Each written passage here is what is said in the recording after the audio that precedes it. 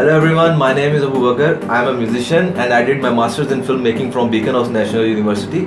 I've been working in a field for quite some time and uh, my one of my favorite projects is AK Sessions.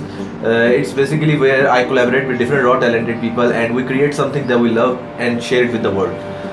It was just an idea before, but BNU is the one who made it into reality. It is a great environment and a great institute to learn from.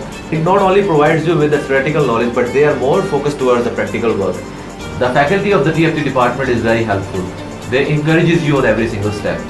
If you think you have some hidden talent inside you and you believe in yourself, then I would recommend you to explore House National University. Thank you.